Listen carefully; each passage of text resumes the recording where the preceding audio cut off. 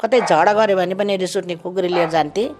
तिमीहरू झगडा रोक्छौ कि काटिदिउँ मारिदिउँ भनेर भन्थे। खाना पकाउला भने भाँडा फ्याँकिदिने यता फ्याँकिदिने। बुहारीले घचघच भने भाइले फ्याँकिदिने। हरि शरण बाहिर निस्क्यो भनेर बाबाले कुट्नु भयो अनि कुटेपछि अनि हामी निस्क्यौँ मर्न जाने तिनी जान मर्न जाने भनेर निस्क्यौँ। जान्न म त रेडियोमा बोलेर त घरबाट निकालिदियो अब फिल्ममा फिल्म देशबाट निकालिदिन्छ जान्न भनेर बाहिर निस्क्यो उनीहरू उल्ला हाँस्यो।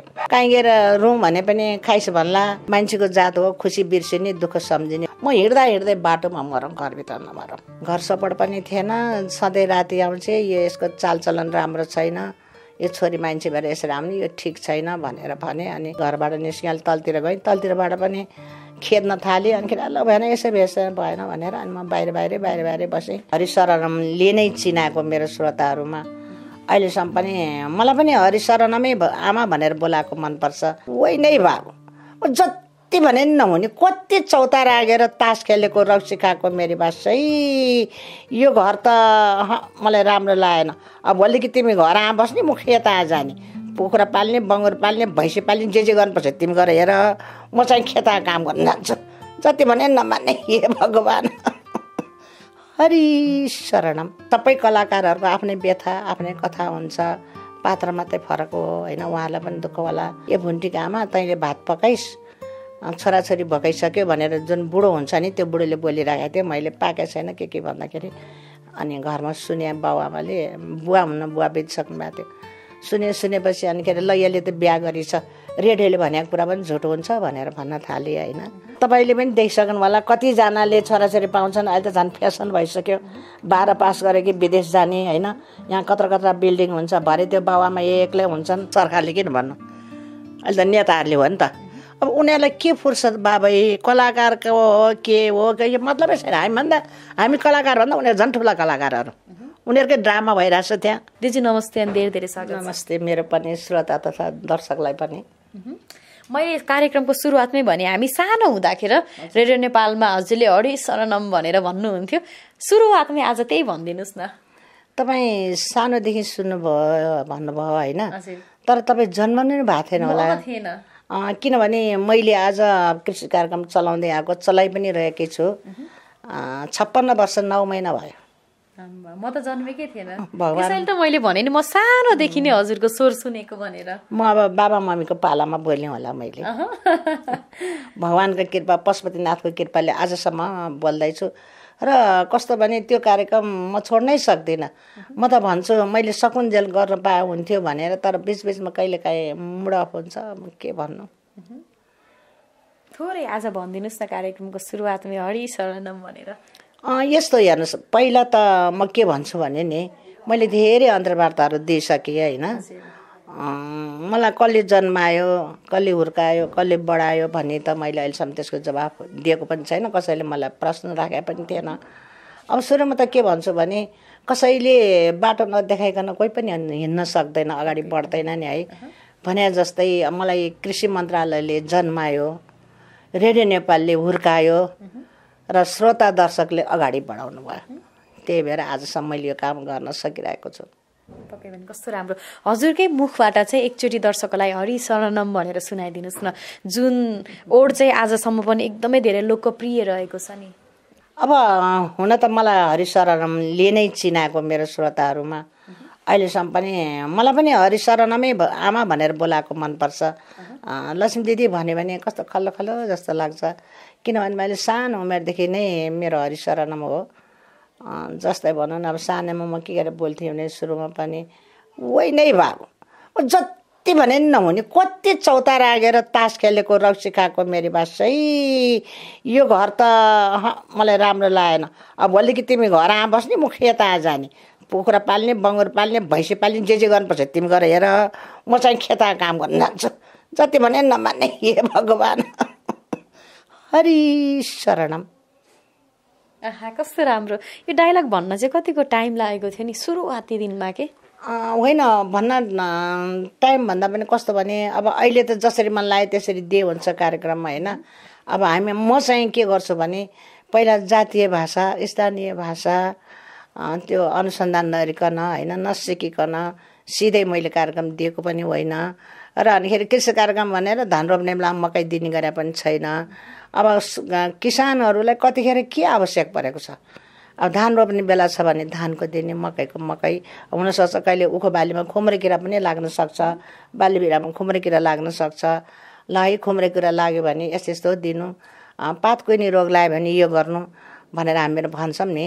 अनि यो सबै चाहिँ अब कसरी दिने भनेर तपाईँले भन्नुभयो भने सर्वप्रथम त हाम्रो त्यहाँ सानो सानो बुक हुन्छ। त्यो पढ्ने हो। त्यो पढ्यो त्यो आफूलाई कण्ठ गर्ने रमाइलो पनि लाग्छ धेरै लामो पनि हुँदैन। अनि त्यसलाई पढ्ने पढेर कण्ठ गरिसकेपछि अनि डाइलग फर्ममा जाने। अनि डाइलगमा लेखिसकेपछि अनि त्यो विज्ञलाई फेरि त्यो बुक जसले लेख्यो नि त्यो ब्रोसेल जसले लेख्यो त्यसलाई देखाउनुपर्छ त्यो। देखाएर उहाँले करेक्सन गरिसकेपछि अनि टाइपमा दिएर हामीहरू रेडियोमा दिन्थ्यौँ। अब आजभोलि त्यो सिस्टम हराएछ। रेडियो नेपालको त्यो यात्रालाई चाहिँ आज कसरी सम्झिनुहुन्छ तपाईँ त वरिष्ठ हुनुहुन्छ होइन? चरित्र अभिनेत्री पनि भन्छन् तपाईँलाई। तपाईँका धेरै उपनामहरू रहेका छन्। कसरी सम्झिनुहुन्छ त्यो यात्रालाई चाहिँ? अब त्यो त कस्तो भने अब मान्छेको जात हो खुसी बिर्सिने दुःख सम्झिने भने चाहिँ होइन? म सङ्घर्ष कति सङ्घर्ष गरेर यो ठाउँमा आएँ भन्ने कुरो त हुन त सबै कलाकारहरूको आफ्नै व्यथा आफ्नै कथा हुन्छ। पात्र मात्रै फरक हो होइन? उहाँलाई पनि दुःख होला। तर मैले धेरै सङ्घर्ष गरेर आज यहाँ आएँ र तपाईँहरूले पनि हरिशरण आमै भनेर भेट्ने अवसर पाउनुभयो। त्यही हो। तपाईँले सङ्घर्ष सङ्घर्ष भनेर भनिराख्नु भएको छ। खास त्यो सङ्घर्ष चाहिँ कस्तो खालको थियो? त्यति बेला त अझ अहिले पनि के? छोरी मान्छेलाई त यो आर्ट क्षेत्रमा लाग्नै हुँदैन भनेर भन्छन् हाम्रो बुवा आमाहरूले होइन? झन् हजुर त आजभन्दा छप्पन्न वर्ष अगाडिदेखि रेडियो नेपालमा म त छप्पन्न छप्पन्न वर्ष नौ महिना रेडियो बन्न थालेको म अलि अलि बुढी नै भइसकेको छु तर उमेर नसोध्नु होला। होइन छप्पन्न वर्षदेखि चाहिँ रेडियो नेपालमा हुनुहुन्छ नि त। नै अनि छप्पन्न वर्ष नौ महिना भयो त्यो काम कन्टिन्यू गर्दै आएको होइन? अब त्यो बेला कस्तो छ भने साँझ परेपछि आई मान्छे बाहिर पनि निस्किँदैनन्। अब म त रेकर्ड गर्ने भने सात बजी आठ बजी घर जान्थेँ। फेरि अलि सानै उमेर थियो कसले के गर्छ भनेर साइली र माइली भनेर गीत गाउँदै घर जान्थेँ होइन। अनि त्यति गर्दाखेरि अब त्यो खै अब भन्नु कति भनौँ मैले होइन। अलिकति मलाई घर सपोर्ट थिएन। घर सपोर्ट पनि थिएन। सधैँ राति आउँछ यो यसको चालचलन राम्रो छैन।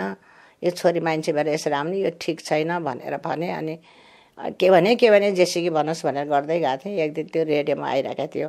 यो भुन्टीको आमा तैँले भात पकाइस् छोराछोरी भकाइसक्यो भनेर जुन बुढो हुन्छ नि त्यो बुढोले बोलिरहेको थियो। मैले पाकेको छैन के के भन्दाखेरि अनि घरमा सुने बाउआमाले बुवा हुन्न बुवा बितिसक्नु भएको थियो। सुने सुनेपछि अनि के अरे ल यसले त बिहा गरिछ। रेडियोले भनेको कुरा पनि झुटो हुन्छ भनेर भन्न थालेँ होइन। त्यसरी भन्न थालेँ। अब खै म त के कुरै बुझिनँ। उयो के घर साङ्लो भित्र वन साङ्लो पसेपछि अलिक गाह्रै हुन्छ भन्ने जस्तो समस्या भएको थियो मलाई। अनि म निस्केँ घरबाट निस्केँ अलि तलतिर गएँ। तलतिरबाट पनि खेद्न थालेँ। अनि ल भएन यसै भेष भएन भनेर अनि म बाहिर बाहिरै बाहिर बाहिरै बसेँ। र पचास वर्ष म कोठा लिएर बसेँ तर त्यो कोठा कुनै कोठामा बेडै खोल्न पाइँदैन। कस्तो असजिलो हुने ठाउँ पाएँ। कतै एकदम राम्रो छ भने अन्त्यमा म एउटा घरमा बाइस वर्ष पनि बसेँ। छुट्न पनि गाह्रो भएको थियो। त्यो सम्झिँदाखेरि चाहिँ अलिक कस्तो कस्तो लाग्छ। तर मैले मेरो श्रोता दर्शक मैले कमाएको देख्दा मैले त्यो सबै बिर्सिन्छु। भनेपछि घर परिवारबाट सपोर्ट पटक्कै पनि थिएन है? नै त्यो बेलामा मिडियामा काम गर्नेलाई मन पराउँदैन। अब वातावरण नै त्यस्तो थियो। मेरो बाबुआमाको गल्ती होइन। वातावरण नै त्यस्तो थियो। छोरीलाई बाहिर पठाउनुहुन्न पढाउनुहुन्न अर्काको घरमा जाने जात भन्थे। त्यही त। हजुर जस्तो हजुरले एउटा अन्तर्वार्तामा भन्नु पनि भएको छ। मेरो भाइले चाहिँ मलाई घरबाट पनि निकालेको थियो भनेर भन्दै गर्दाखेरि कतिपय दर्शकहरूले चाहिँ एकदमै भावुक पनि हुनुभएको छ। सबैलाई हँसाउने सबैलाई राम्रो राम्रो सन्देश दिने आमाको यत्रो ठुलो पीडा रहेछ है कसरी पीडा लुकाएर बसिराख्नु भएको भनेर पनि धेरैले सहानुभूति पनि दिनुभएको थियो। थोरै सम्झौँ न के भएको थियो? होइन यस्तो भयो के भयो भने पचास साठी वर्ष अगाडिको कुरा हो होइन। मेरो साइलो भाइ अलिकति रक्सी खाएर हिँड्ने बिग्रेर हिँड्ने अनि घर सधैँ अबेर आउने। किन अबेर आउँछ भनेको उसको एउटा गर्लफ्रेन्ड रहेछ। मैले पत्ता लगाएँ पत्ता लगाएपछि ऊ नेवार थियो हामी पर्वते थियो होइन। अनि उसलाई हामी नमिली हामीलाई उनी नमिल्ने यस्तै कल्चर नमिल्ने भएको अहिले थिएन। अनि मैले ल्याएर भित्र भित्राएँ मैले नि। भित्राएपछि अनि कसो कसोमा सानो एउटा पटपट गाह्रो फुटेको कोठामा बसिरहेको थिएँ घरमा। अनि त्यो कोठा लिएँ उनीहरूलाई कोठा तल छेडीमा भयो भन्ने हिसाबले पछि बुझेँ मैले। उनीहरू माथि कोठामा बस्न खोजेको रहेछ। पहिले नै भनेको भए हुन्थ्यो किन मलाई यस्तो गरे भने अब खाना पकाउला भने भाँडा फ्याँक्दिने यता फ्याँक्दिने गर्ने गरेको थिएँ अब त्यो पनि मैले बिर्सिसकेँ किनभने उनीहरू सबैले यो संसार छोडिसके अब के सम्झिने? एक दिन मैले पनि छोड्नुपर्छ जे भयो भयो। तर यदि यो घटना यसरी सङ्घर्षमा मन नआएको भएदेखि आज म यति सफल पनि हुन्न थिएँ होला। र मैले अघि पनि भने मलाई कृषि मन्त्रालयले जन्मायो। रेडियोले हुर्कायो रेडियो नेपालले हुर्कायो श्रोता दर्शकले अगाडि बढाउनु भयो। अहिले पनि मैले के छ भने भेटेर दिनु खानु भनेको केही पनि होइन जस्तै म यहाँ अहिले बोलिरहेको छु। यहाँको बहिनीहरूले मलाई सधैँ फलो चिताउनुहुन्छ भए खानिदिनुहुन्छ नभए त्यसो हुन्छ म पनि केही म उयो गर्दिनँ। सबभन्दा ठुलो नै मेरो श्रोता दर्शक हो। भनेपछि भाइहरूले बुहारीहरूले त्यो खाना बनाउने बेलामा पनि भाँडाहरू फालिदिने त्यस्तो गर्नुहुन्थ्यो त्यस्तो रहेछ अब थाहा भएन। पछि बुहारीले घचघच्यो भने भाइले फ्याँकिदिने। त्यहाँ बुहारीले त एक शब्द नि बोलेन। मैले नै भित्र आएको अनि अचम्म कस्तो हुँदो रहेछ भने मैले सतुर कमाएको जस्तो कि आफूले सतुरभित्र उल्या जस्तै भयो। अनि त्यही भएर मैले एउटा टेलिफिल्म पनि लेखाएको छु बनसाङ्लो भनेर। अनि निकै पैसा लाग्ने भएर मैले त्यो सुटिङ पनि गर्न पाइनँ। त्योसँग म लेख त्यसै बनसाङ्लो भनेर लेखेको छु मैले। भनेपछि आफ्नै भाइ बढीबाट अपहेलित हुनु पऱ्यो त्यही हो। अब कस्तो अब काहीँ गएर रुम भने पनि खाइस भन्ला। कहीँ गएर के भन्यो भने अनि मेरो एउटा बानी के छ भनेदेखि मलाई अफिसमा रिस उठ्यो भने म मुक्तक लेख्छु। मलाई घरमा कसैले चित्त दुखायो भने म कविता लेख्छु। र भजनमा जाँदाखेरि कतै केही लासहरू देख्यो भने भजन लेख्छु। त्यस्तै हो। अहिले हजुर। अहिले त्यस्तै हिजो अस्ति एउटा भजन पनि लेखेँ मैले साथीहरू रुनुभयो। किनभने म पशुपतिनाथ सङ्गीत कला प्रतिष्ठानको अध्यक्ष छु। धेरै वर्ष भयो बाउन्न सालदेखि म त्यसमा आबद्ध पनि छु। अनि त्यहाँ मैले एउटा बहिनीहरू थियो उनीहरूलाई गाना गाउँछु भने गाउँछन् भजन पनि दिएको थिएँ। जस्तै अब मान्छे अन्त्य अवस्थामा पनि भगवान्को नाम नलिन हुने।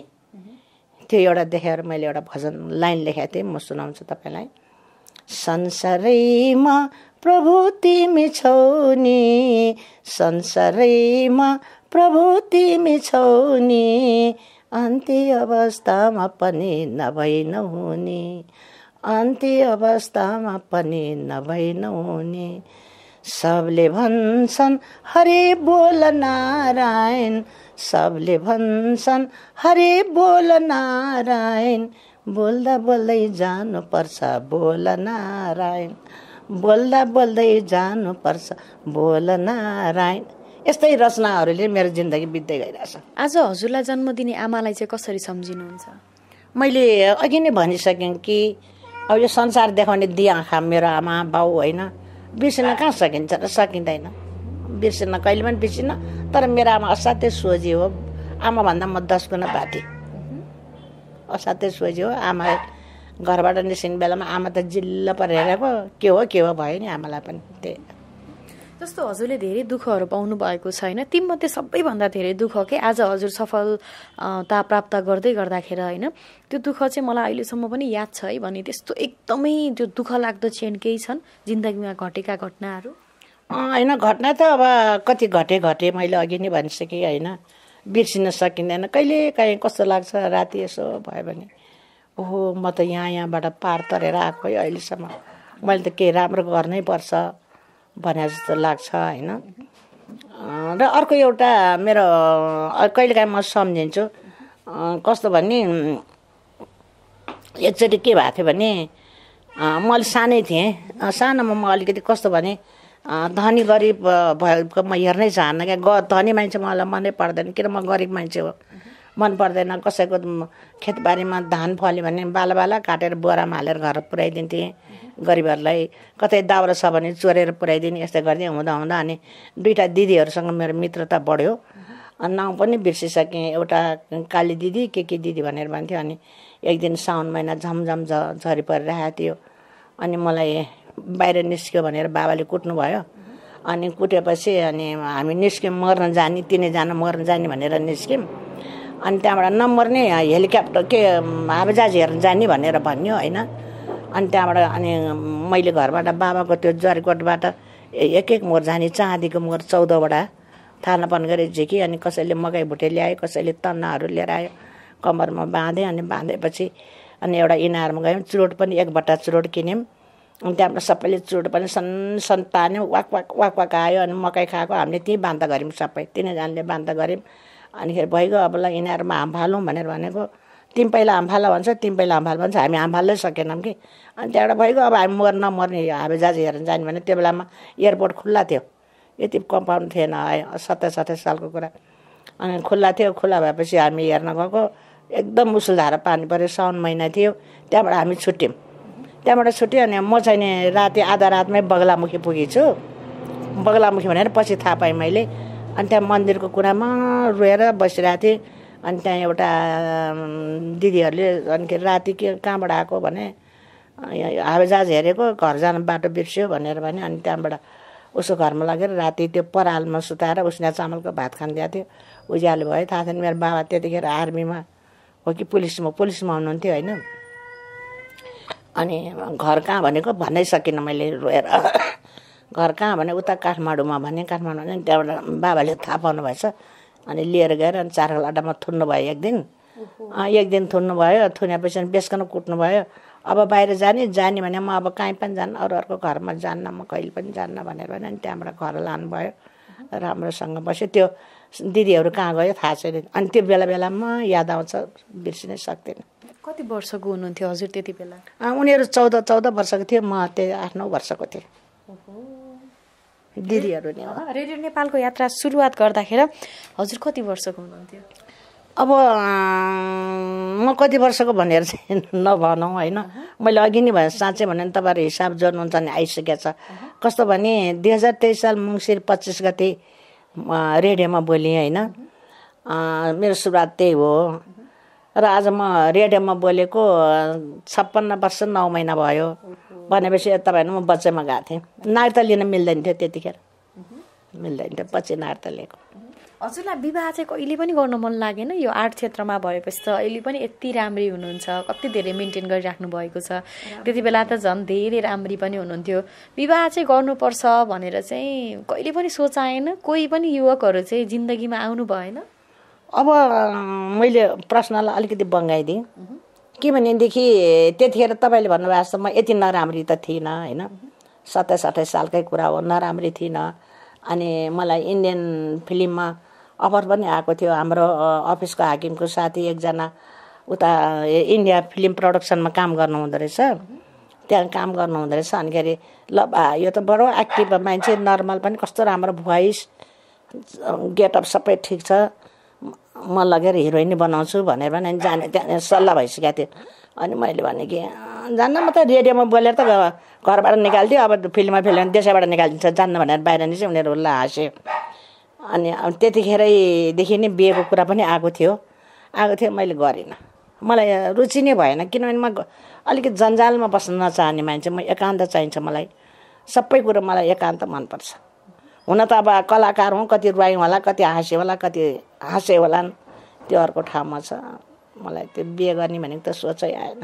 कोही पनि मन परेन जिन्दगीमा अहिलेसम्म पनि भनौँ न त्यति बेला जब तपाईँ राम्री हुनुहुन्थ्यो त्यति बेला कोही पनि नै मन परेन। होइन मन नपर्ने भनेर होइन मलाई सबै मनपर्छ ठिटा ठिटी पनि मनपर्छ केटाकेटी पनि मनपर्छ बुढाबुढी पनि सबै मनपर्छ तर म यसको लाइफ पार्टनर भन्छु जिन्दगीको साथी बन्छु भन्ने कल्पनै गरिनँ।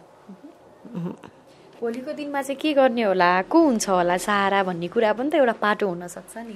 त्यो त हो तर तपाईँले पनि देखिसक्नु होला कतिजनाले छोराछोरी पाउँछन् अहिले त झन् फेसन भइसक्यो। बाह्र पास गरे कि विदेश जाने होइन? यहाँ कत्र कत्र बिल्डिङ हुन्छ भरे त्यो बाबामा एक्लै हुन्छन्। कहाँ त्यो घर के गर्ने दिन पनि सक्दैनन् बिक्री गर्न पनि सक्दैनन्। कसैले लगेर अब वृद्ध आश्रममा पनि कति आमा बाउले लगेर छोडिदिएको छ होइन? म त्यसमा पनि त पढ्थेँ होला नि यदि बिहे गरेको भएदेखि। अहिले त आनन्द छ नि कसैले केही गर्न सक्दैनन्।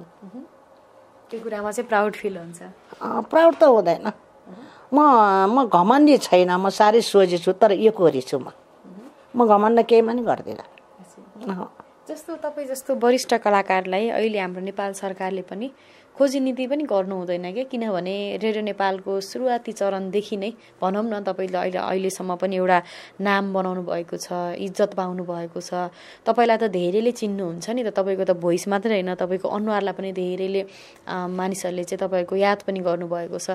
तर सरकारले चाहिँ फलानु मान्छे अब सम्मान गर्नुपर्छ यताउति भन्ने कुरा पनि त बिचमा आइरहेका हुन्छन् नि। त्यस्तो सम्मानहरूबाट चाहिँ अहिलेसम्म सम्मानित हुनुभएको छ छैन अथवा के छ? बिन्ता बहिनी तपाईँले जस्तो प्रश्न धेरैले ममा राखिसक्नु भयो है।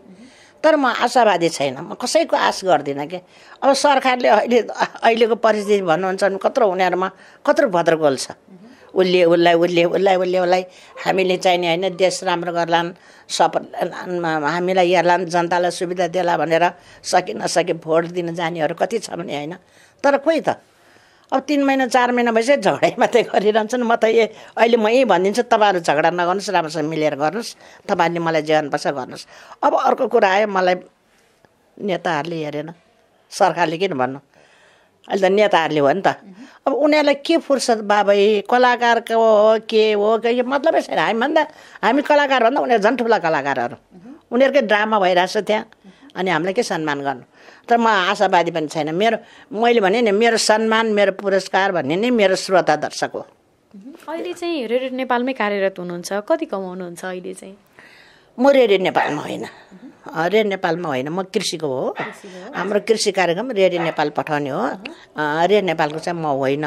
कमाउने केही पनि छैन। घरबाट अब वर्षको छप्पन्नवटा प्रोग्राम मैले जिम्मेवारी लिएकी छु। घरबाट आउन जानलाई पुग्ने मात्र छ। त्योभन्दा उता त गाह्रो नै छ। गाह्रो होइन। अब सजिलो पनि होइन गाह्रो पनि होइन। उनीहरूले ठिक्क घर आबाट आऊ अफिसबाट घर जाऊ भन्ने हिसाबले दिए जस्तो गरेर त्यस्तै हो। पारिश्रमिक त अहिले कसलाई पुग्ने गरेर कसले दिन्छ र दिँदैन नि। के गर्ने योजना गर्छु भनेर चाहिँ त्यो बनाउनु भएको छ? अब आउने दिनहरूमा त के म कलाकार हुँ? यहाँले भनिहाल्नु म चत्रि चलित्र अभिनय होइन कलाकार भनेर। कताबाट अफर आयो भने सुटिङमा जाने तर म काठमाडौँ बाहिर जान सक्दैन मेरो स्वास्थ्य त्यति ठिक छैन। र अर्को कुरो अब रेडियोमा मैले अघि नै भने भगवान् पशुपतिनाथको कृपाले मैले सकुन्जेल चाहिँ मैले त्यो माइक पाऊँ किन मेरो जीवन साथी माइक हो। म माइकलाई बिर्सिन सक्दिनँ। मेरो कुराकानी भनेकै माइकमा हुन्छ। त्यही भएर अब त्यही नै छ र अनि अर्को कुरो चाहिँ मैले धार्मिक कार्यक्रममा आबद्ध छु। मलाई मनपर्छ।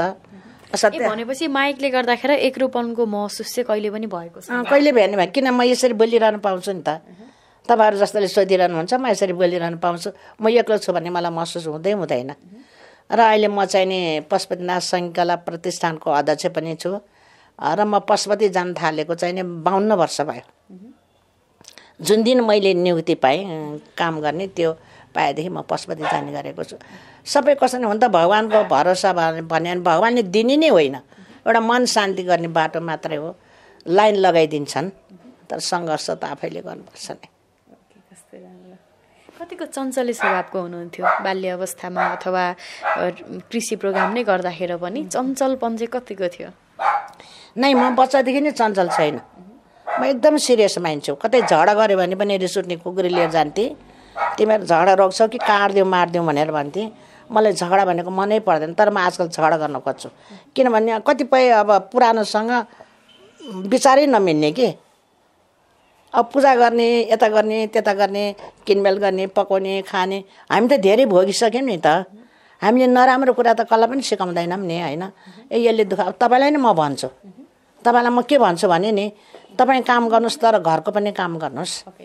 घरको घरमा भात पकाएर खाने भाँडा मान्ने त्यो काम होइन नि। त्यसलाई काम सम्झिने नि होइन कि? त्यस कारण तपाईँ पनि आफ्नो उसमा बस्नुहोस्। भनेर यस्तै किसिमले सम्झाउने हो होइन होइन सफा सुग्घर भन्यो भने अरू कुरामा त म चासो लिन्न कसैको नि जीवनमा धेरै दुःखहरू भोग्नुभयो नि होइन? सफलताको स्वाद पनि चाख्नुभयो। त्यो भएको भएर जीवन भनेको चाहिँ के रहेछ? के बुझ्नुभयो अहिलेसम्म? जीवन भनेको त पहिलो कुरो सङ्घर्ष नै जीवन हो। त्यसपछि सत्य त मृत्यु नै हो नि। होइन र? अब अरू के? के भन्नु मैले होइन? तपाईँहरूले सोध्नुभयो मैले भने अब हुन त सबै कुरो छोटकरीमा नै भन्ने हो तपाईँहरूको पनि समय छैन। पन्ध्र मिनट आधा घन्टाको कार्यक्रम होला होइन? मृत्युदेखि कतिको डर लाग्छ हजुरलाई? मलाई डर लाग्छ। डर लाग्छ। कसै डर लाग्छ म मर्छु भनेर डर त मलाई लाग्दैन। तर मेरो इच्छा आकाङ्क्षा पुरा नभइकन मर्छु कि भनेर डर लाग्छ। अनि भगवान्सँग भन्छु मलाई अब अब अब धेरै होइन। अब पाँच वर्ष बचाइदेऊ। त्यति हो। त्यतिसम्म म के गर्छु भने चाहिँ कसो गर्छ भने म गर्न सक्छु। तर सबभन्दा ठुलो मेरो भगवान्सँग मेरो प्रार्थना तपाईँहरूले पनि मलाई आशीर्वाद दिनुहोस्। म हिँड्दा हिँड्दै बाटोमा मरौँ घरभित्र नमरौँ। मेरो सबभन्दा ठुलो इच्छा नै त्यही हो। अरूमा त केही पनि चाहिँदैन मलाई। किन नै कस्तो भने नि अब घरभित्र भन्दा घर बाहिरै राम्रो जस्तो मर्ने बेलामा संसार आकाश देखिन्छ नि। घरभित्र देखिँदैन। झ्यालढोकाले छेक्छ होइन र? त्यही भयो भनेपछि अहिले पनि मनभित्र धेरै पीडाहरू छन् तपाईँको। होइन म भित्र आन्तरिक त म सिरियसै हो पहिलादेखि नै। म एउटै कुरालाई लिइरहने खालकी तर आजभोलि त्यसरी लिनु हुँदो रहेछ भन्ने छ मनमा। बिर्सिन पर्दो रहेछ भन्छ। कता कता अलिकति नमिल्दो पनि हुन्छ। अब कस्तो नमिल्ने भने अब त- तपाईँ जाँड रहेछ खाएर हुन्छ म खाँदिनँ। अब तपाईँको मेरो विचार मिल्छ त। है, यस्ता मान्छे भयो भने मेरो कुरा अलिक मिल्दैन। त्यही पनि म रिसाउँदिनँ म आफै पन्सिन्छु त्यस्तो मलाई ऊ छैन। उसलाई मन लाग्यो खायो के अरे कसले रोक्न सक्ने? एउटा हिन्दीमा छ नि मेरा दिल मचल गए त मेरा क्या कसुर भने जस्तो। उसलाई खान मन लाग्यो खाइदियो त अब उसलाई के गाली गर्ने? होइन त्यस्तो किसिमको सोचेर हिँड्ने खालको म हो। अहिले चाहिँ को को हुनुहुन्छ? परिवारमा अहिले चाहिँ हजुरसँग घरमा अथवा त्यति बेला हेला गर्ने भाइ त संसारमा हुनुहुन्न पनि भन्नुभएको थियो हजुरले अघि नै होइन? संसारमै हुनुहुन्न पनि भन्नुभएको थियो। बुहारीहरू त्यसपछि फ्यामिलीहरू चाहिँ को को हुनुहुन्छ अहिले? अब अहिले त ममुनिको भाइ म छु। उसको छोराछोरी छन् बस त्यति हो भाइ बदाहरू छन् अलिअलि। तर त्य- त्यस्तै हो अब के भन्ने? उहाँहरूको व्यवहार चाहिँ कस्तो छ हजुरप्रति? होइन राम्रो छ एकदम। ठिकै छ। ठिकै छ। अँ, ठिकै छ। अब सबैको आफ्नो आफ्नो बानी बेहोरा हुन्छ होइन? ठिकै छ। मैले सुनेको कहीँ कतै मैले सुनेको थिएँ। अहिले हजुर घरमा आफ्नो काम दैनिकी काम आफै नै गर्नुहुन्छ। खाना बनाउनेदेखि लिएर हरेक कामहरू। यो मैले सुनेको थिएँ हो कि होइन? अँ हो। एकदम सही कुरा हो। कस्तो भने एक त म बेलुका साढे आठ बजे मलाई बेडमा जानुपर्छ। अँ, त्यहाँबाट साढे आठदेखि नौ दस म धार्मिक किताबहरू पढ्छु। अनि भजनहरू सुन्छु। अनि बिहान मलाई चार बजे ओछ्यान छोड्नै पर्छ। चार बजे छोडेर अलिकति पाँच दस मिनट यसो भजनमा नाच्छु गीत गाउँछु। अनि त्यसपछि अनि नुहाइधुवाइ गरी यताउति गरिकन अनि चिया बनाउँछु पानी तताउँछु अनि दिनुपर्नेलाई दिन्छु ठिको पारिदिन्छु ओर्छु अनि पूजा गर्न जान्छु। मेरो सात बजी पूजा सकिन्छ। अनि पूजा सकेपछि सक्ने गर्छु।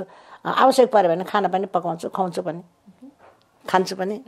उमेर ढल्किसकेको छ। अझै पनि राम्री चाहिँ हुन मन लाग्छ है। राम्री नै हुनुहुन्छ। अहिले पनि जे होस् मेन्टेन गरेरै हिँड्नुहुन्छ है। कतिको गाह्रो होइन खास त म राम्रो मलाई राम्री हुन मन लाग्दैन। म सानैदेखि राम्री नहुने मान्छे। तर राम्री हुनुहुन्छ नि। धन्यवाद। दाँतहरू एउटा पनि फुस्केको छैन किन हुन भित्रभित्र गइसकेको छ दादा। बाहिर त अलिकति देखिने दाँत राम्रै छ। ठिकै छ मकै चपाउन सक्छु। अझै सक्नुहुन्छ? सक्छु।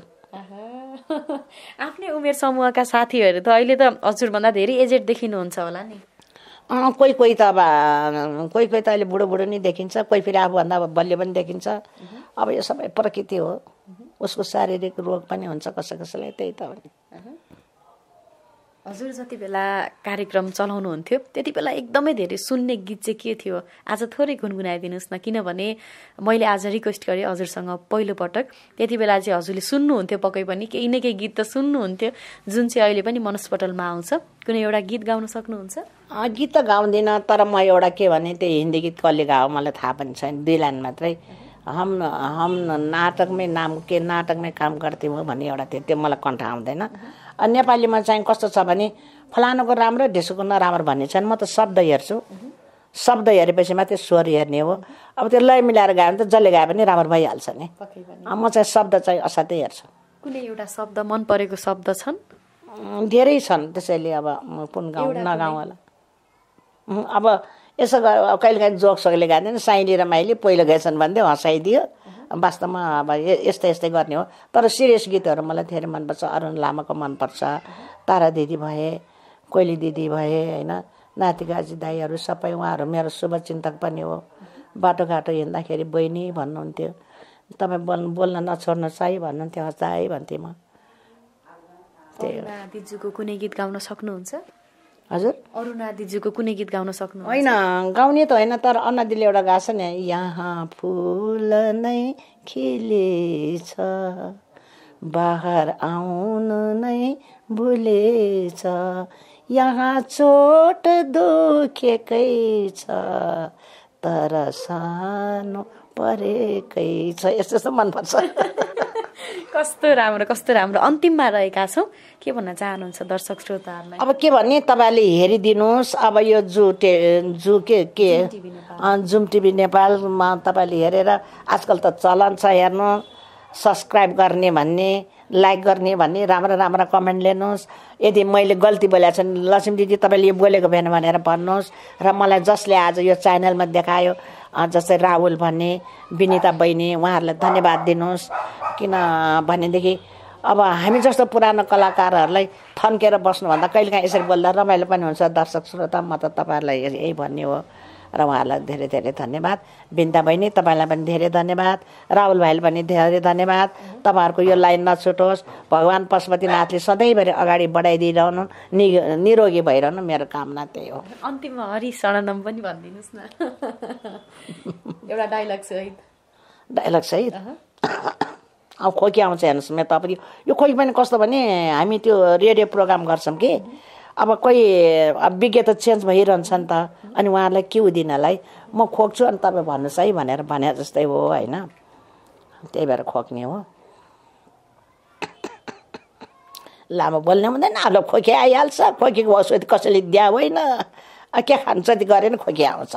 यो ज्ञानु बहिनी पनि गाली गरिरहन्छ कति खोक्या भनेर। औषधि खाऊ भनेर किनेर दिने होइन। बहिनी यिनै हुन्। ए आऊ न ज्ञान आऊ यहाँ आऊ। ज्ञानु बहिनीलाई पनि तान्नु पऱ्यो नि ल अब उहाँ नै हो ज्ञानु बहिनी भनेको उहाँ नै भयो अब उसले औषधि दिन्छ गाली गर्छ अझ उसको छोरी छ अनु भन्ने अहिले विदेश जाने ट्राई गर्नुभएको छ भगवान्ले उसको बाटो छिटो खोलिदियोस् होइन अब यस्तै हो ल अब सबैलाई धन्यवाद दिँदै म पनि बिदा हुन्छु हरि शरणम